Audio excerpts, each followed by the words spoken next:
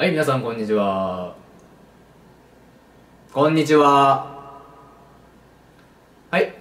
えー、今回ですね、第1回目ということで、知らない人のために、えー、私の講義のルールを説明してから、えっ、と、始めていきたいと思います。えー、私の講義ではですね、基本的に寝たり、喋ったり、